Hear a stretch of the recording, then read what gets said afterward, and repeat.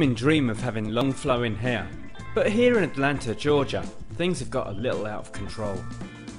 Meet Asha Mandela, who has the world's longest dreadlocks. A lot of people refer to me as the Black Rapunzel. They refer to me as a legend. They refer to me as the ninth wonder of the world. People tell me all the time that I inspire them.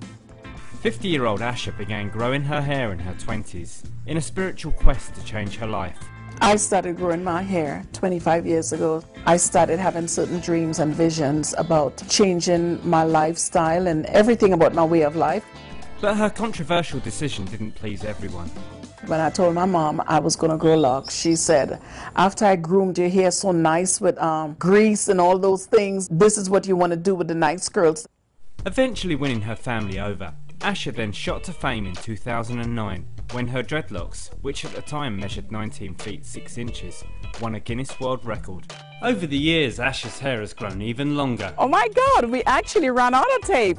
This is crazy, and this measure tape is 25 feet long. Amazingly, one strand of hair has exceeded all expectations. 55 feet 7 inches. Oh my God, I don't believe this. This is. I'm sweating. This is too much. And it's not just the length of Asha's hair that's extreme. Weighing 39 pounds, her locks are so heavy she has to carry them in a basket on her back. Oh my God. Are you serious? And that's right. However, Asha's hair could be causing some serious side effects. The doctors seem to think that I have a curvature of my spine and it's the length and the weight of my hair that's making me curve more than I should. I've had doctors say to me that my neck has collapsed at the back and that I need to be careful. I can start having spasms and stuff in my spine and probably be paralyzed.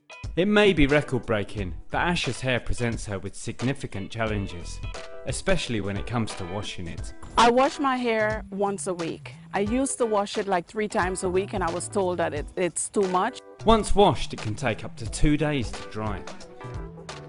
But the demands of her hair haven't caused problems in one area, her love life.